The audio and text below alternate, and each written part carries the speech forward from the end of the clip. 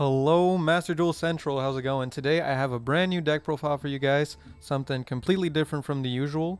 It's uh, very sussy, very pog. We're playing a Pegasus deck. I've been playing this deck in ranked recently a little bit when I'm not playing the synchro event and honestly it's a ton of fun. Obviously it's not like a top tier competitive meta but you know I am climbing plat 1 with it uh, so it, it, can win matches in plat 1. It's just uh, I wouldn't say it's like as good as Dinos or anything like that but if you're looking for something like that's DM era you know Pegasus deck it, it's really good probably one of the better DM era type decks. That's all because of this monster here Millennium Eyes Restrict is just absolutely broken and this deck has a really really good matchup against Eldlich in particular. So if you're really sick of Eldlich, this might be the deck for you. So let me just go through the card by card very quickly, then I'll explain my game plan and show you some gameplay. So for the cards, we got 3 Effect Veiler, 1 Jet Synchron, 1 Golden Eyes Idol, 3 Millennium Eyes Illusionist, 3 Sangan, 3 Tour Guide from the Underworld, everybody loves this card. We've got 1 Amano Kujaki, if that's I don't know if that's how you pronounce it. If you're wondering why I'm playing this card, it's because it's a level 3 Fiend Tuner, which means when you normal summon Tour Guide from the Underworld going first, you can just go get this card and go into a one card combo that ends up on a Scythe Lock with a Baronne de Fleur. Usually you want to go second with this deck, but if they make you go first, uh, just Scythe Lock Baronne Pass is usually at least decent enough to uh, to stop the opponent from playing. Uh, and so obviously we're playing the Scythe, the two Gameciel, one copy of Gadarla, the Mystery Dust Kaiju, and one copy of Thunder King. Obviously your Kaijus, your ratios for Kaijus is up to you. I think that's a decent amount because what we really want to see is interrupted Kaiju Slumber. Um, Kaijus are really good in this deck, obviously, because you can suck them up. You can go Sucko mode with Relinquished, you can go Sucko mode with Anima, and you can go Sucko mode with Millennium Eyes Restrict as well. So obviously the Kaijus are a lot more useful in this deck than in many other decks, just for that reason alone. So you definitely want to play them, and this card is just amazing in this deck for sure. Then we're playing the three pre-preparation of rites. Um, I'm playing two Black Illusion Ritual. A lot of people play three. Uh, I know that means I have one dead pre-preparation, but honestly, it's just because like I was even thinking of maybe running two of this. It's just because, you know, you want the deck to be as consistent as possible. Now, you don't want to run two of this because that's the main material for your Millennium Eyes Restrict. So I figured, well, I'll, I'll remove at least one of the ritual spells. Um, and drawing this card is a lot better than drawing this card, obviously. We got one copy of Twin Twisters, uh, one copy of Lightning Storm, and two copies of Forbidden Droplet. These are like my going second power cards that I want to draw into off of Maxx C. Honestly, the ratio's up to you. This deck is pretty weak against back row, to be honest, because I don't have the three Lightning Storms, but I do have the three Twin Twisters. I was considering maybe removing these two, keeping the Lightning Storm and putting a second Twin Twister. It's just that sometimes, you know, because this is a going second deck, just drawing into the Droplet off of a Maxx C is just too good. So I end up just playing the Forbidden Droplet even though we're not at 40. Uh, I would play three, but obviously uh, I can barely get it all to fit in here. So I'm playing two Droplet, uh, one Twin Twister, and one Lightning Storm. But that the ratio's up to you. I honestly think if you if I had three Lightning Storm, I'd rather play that but it is what it is. So the extra deck, we've got one copy of Thousand Eyes Restrict. This card's almost never getting summoned, Thousand Eyes Restrict. Uh, it's not very necessary, uh, but you, you can make it technically if you normal summon this card and use its effect and then activate the Relinquished Fusion. But uh, pretty rare that you'll go into this one. This card is like your big boss monster. This card is amazing. You know, it'll take a monster from the opponent's graveyard or their field when they activate a monster effect. So this card just totally obliterates Eldlich because once you equip that monster to it, your opponent can't use any other monster with that same name. It's also pretty good against Cyber Dragon actually. If you can get your hands on one of their Cyber Dragons, stops a lot of their effects. It's pretty funny. Uh, I know Cyber Dragon's not really the same kind of threat as Eldlich, but I do think that's kind of a funny interaction. Uh, we've got the Wonder Magician, Baronne, Halqifibrax, and Dagda. You already know this combo. You've seen it plenty of times, I'm sure. But basically, if you summon the tour guide, use it to summon Amano Kujaki, then you can go into Synchron Halqifibrax, special summon the Jet Synchron, and with that you make a Linkuriboh. Afterwards you can revive Jet Synchron from the grave, go into Dagda, pass turn, and when your opponent does anything in main phase 1, you just activate Halqifibrax, activate Dagda, and you've got yourself a Scythe Lock on top of a Baronne summon. So it's just really strong uh, really easy to do in this deck. There's other things you could play instead of this, but I just really like the Scythe Lock. I think it's really broken, uh, especially since this deck kind of struggles going first. I think it's a really nice, easy setup going first if uh, if your opponent makes you go first for some reason. Um, then we're playing the Almiraj. This is just to send the normal summon Sangan to the grave. Really good way of getting rid of Sangan and getting your search of Relinquished. Very important. Um, we're playing the Anima because it suck, and we wanted to go Suckle mode in this deck. Um, playing the Linkuriboh, that's for the Jet Synchron interactions. We're playing Predaplant Verte Anaconda.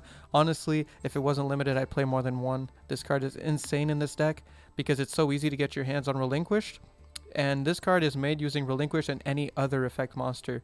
So, you know, if you have like Effect Veiler in the grave or Maxx C in the grave, or that's perfect. You know, you just use that and the Relinquish you search off of Sangan and uh, you can just make it. You can also obviously search this off of the preparation of rites or the pre-preparation of rites. So very strong, very easy to make, and uh, that's why Predaplant Verte Anaconda is so broken, turning any two monsters into an activation of this card.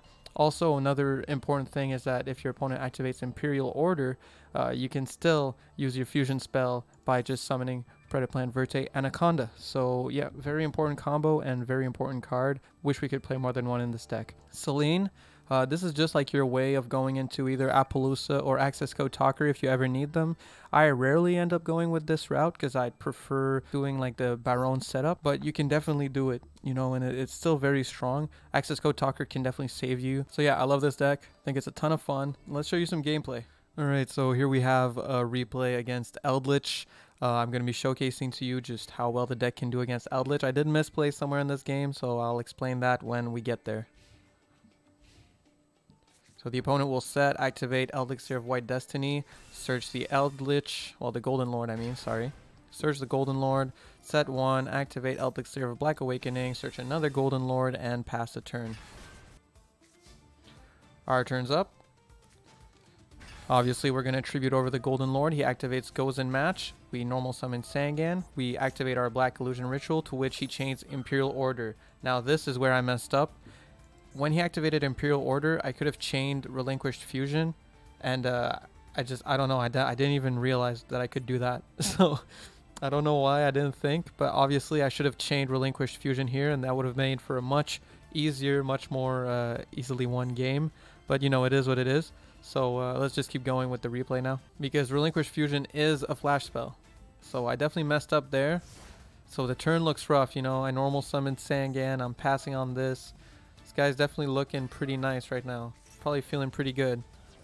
Now, he activates a droplet under his own Imperial Order, which is really weird to me. I don't really understand the point of that. But, uh, you know, it is what it is. So weirdly enough, he actually set a Huaquero and got rid of his Conquistador um, to summon the Golden Lord, which I, I really don't understand why he did that.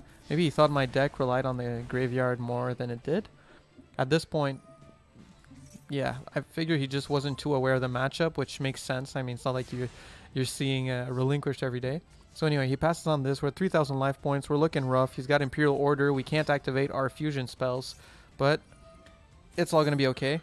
We're going to normal summon Tour Guide. He, we already know what he has set here, so it's very safe for us to just normal summon Tour Guide and go for a search.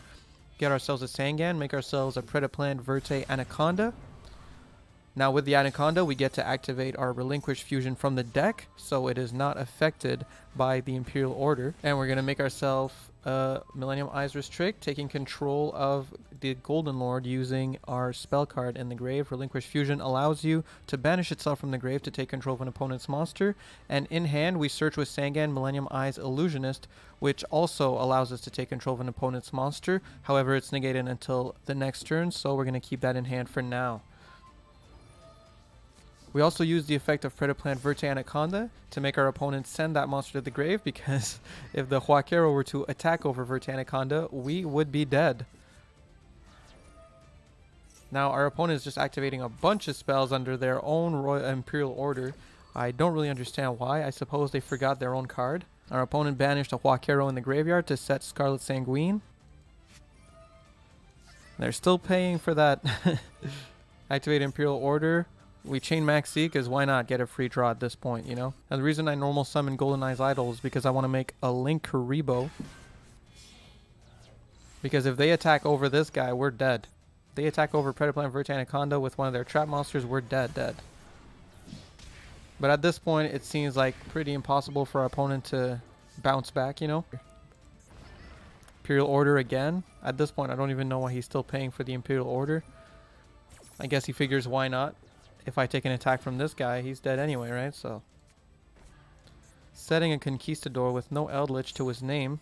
With Eldlixir, he's going to set Golden Land Forever.